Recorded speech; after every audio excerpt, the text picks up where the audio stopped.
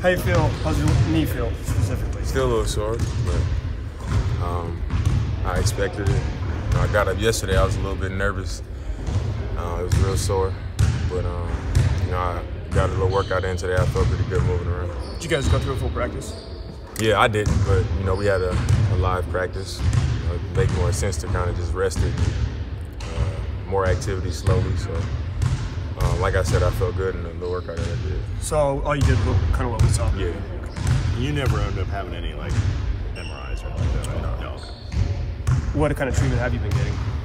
Um, just a lot of, um, I guess, soft tissue, uh, working around, just stretching, um, band work, lunges in the pool. I mean, I was here yesterday, like four hours total, probably just doing a bunch of stuff, trying to um, make it more comfortable. You know, it, was, it wasn't really painful; it was just discomfort. Um, you know, it was a pretty bad fall.